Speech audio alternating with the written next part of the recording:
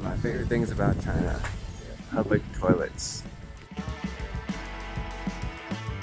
It's only 5 kuai in the off season and it goes up to 10 and 15 so uh, off season is a good time to come.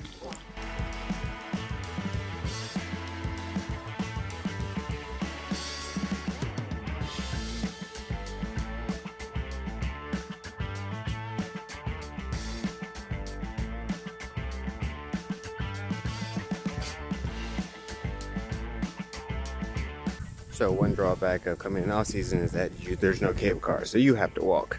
But thankfully I'm gonna walk, so we're good.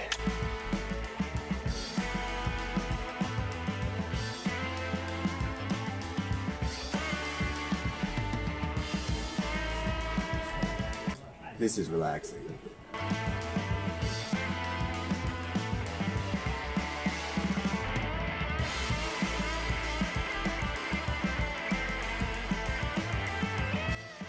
I could go there, up the stairs, or I could go up here, off the beaten path. I bet in Chinese that says like off the beaten path.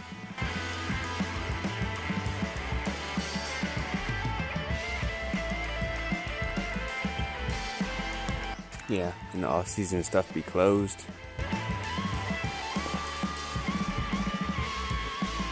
Before moving to China, I would never eat a cucumber straight as a snack.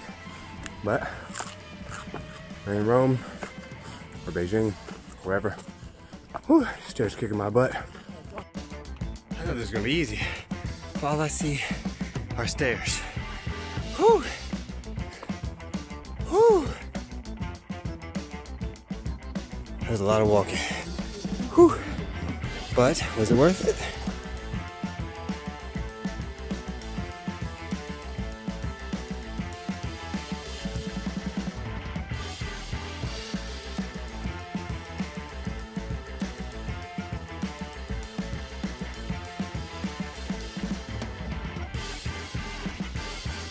So I know it's called Fragrant Hills, but I don't smell anything.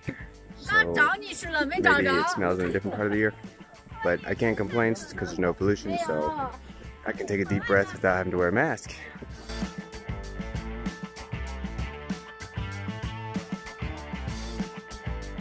This would be a perfect place to fly my drone, but we're in no-fly zone. Yes, 20 something kilometers from city center, still in no-fly zone. You have to be 30 kilometers from the Forbidden City to fly your drone.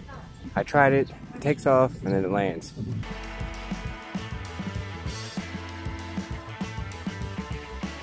So today was a really great day to come. I got here a little late. Uh, maybe that's why my ticket was only 5 kuai. But uh, this park is huge. Fragrant Hills Park is not just the peak that I went up to today, but a whole bunch of mountains or hills. There's uh, quite a few out here. So this is definitely a place that you can come back to multiple times and still enjoy something new. I picked a really good day. There's very few people here. Uh, when you get to the top of the peak, there's a lot more people, but still barely anybody. So it's very peaceful, relaxing. Um, it's funny because I saw downstairs that it closed at 4:30, and I'm walking down now. It's about 4:40, and people are still coming up.